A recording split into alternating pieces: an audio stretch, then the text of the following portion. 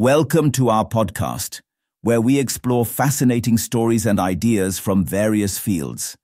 In this episode, we discuss how the Sun is gradually reaching and altering Earth's core.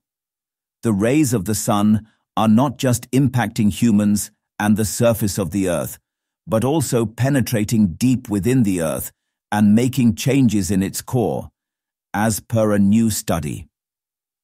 In a new paper, which was published in the journal Nature Communications, scientists explained how the ancient magma present inside the Earth's core has some chemical properties that show it is being impacted by the sun's rays.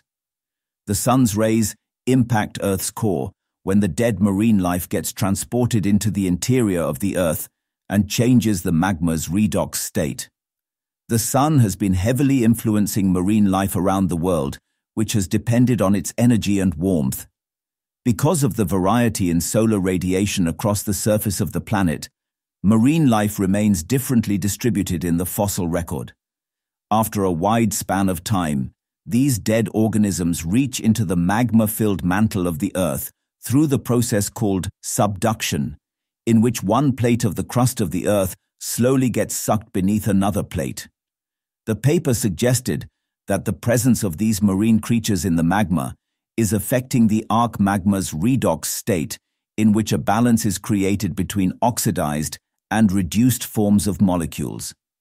The researchers explained that the redox state of magma showed a gradient with latitude, which further explained how marine creatures are reducing the magma and the sun is changing Earth's core.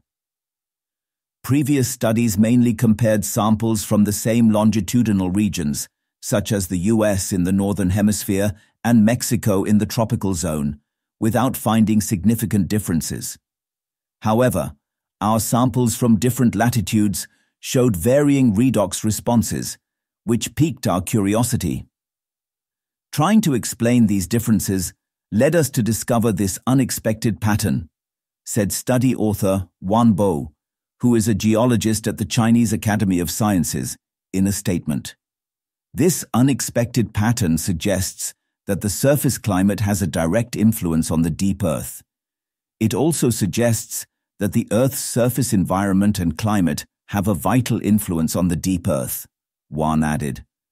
The scientists also found more carbon deposits present on the seafloor at lower latitudes, which have been interacting with sulfur and becoming sulfides. This is also suspected to have contributed to the redox of the magma.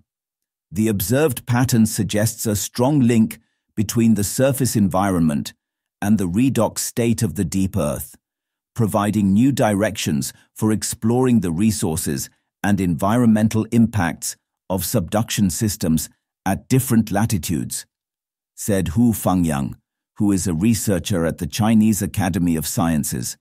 Thanks for tuning into this incredible story. If this episode resonated with you, don't forget to hit the like and subscribe button for more captivating stories to come. Stay tuned.